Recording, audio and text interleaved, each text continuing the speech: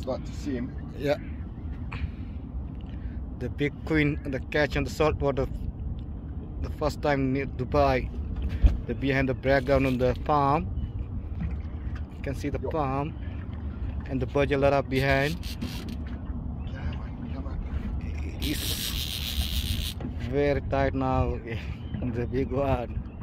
Bending three point five weight rods before he using now ten weights. It's Yeah. getting very That's it. It's a different workout for sure. okay. The All right. fish.